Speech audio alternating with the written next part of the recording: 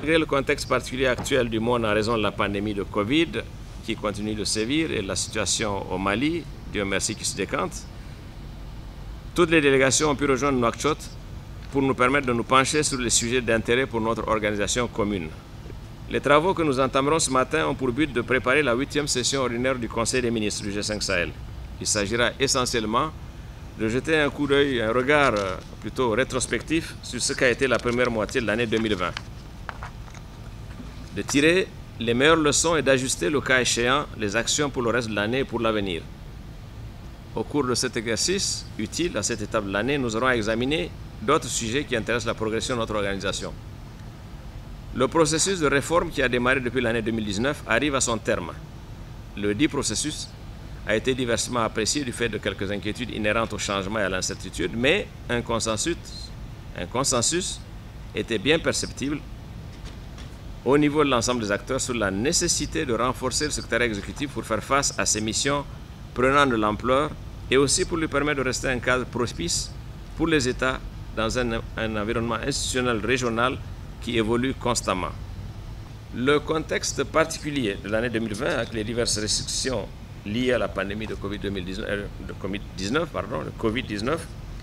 n'ont pas empêché les concertations au plus haut niveau du G5 Sahel. En effet,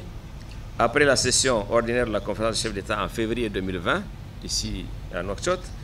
une conférence a été, une visioconférence a été organisée entre les chefs d'État du G5 Sahel et l'Union européenne en avril et un sommet G5 Sahel France en juin sous le suivi des conclusions du sommet de Pau tenu en janvier 2020. À ces concertations au sommet s'ajoutent les concertations au niveau ministériel et technique qui ont permis de maintenir le dialogue et traiter diverses questions. Mesdames et messieurs, nous tenons ce conseil au moment où l'espace G5 Sahel est toujours confronté à une crise multidimensionnelle qui a été aggravée par la survenue de la pandémie Covid-19. S'agissant de la situation sécuritaire qui reste marquée malheureusement par plusieurs attaques terroristes contre notre population, nous saluons les progrès réalisés par nos forces de défense et de sécurité dans la lutte contre le terrorisme. Concernant la pandémie Covid-19,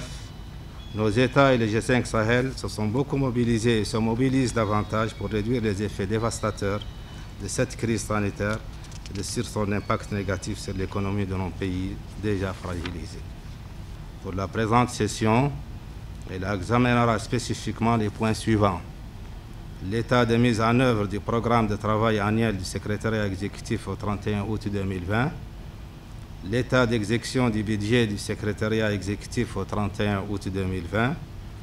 les rapports de la mission d'implémentation et les conclusions de l'audit organisationnel du secrétariat exécutif, les échanges sur les perspectives de la mise en place de la structure de gouvernance et de la coalition pour les G5 Sahel, et l'état de mise en œuvre de la feuille de route de la présidence en exercice du G5 Sahel. Enfin,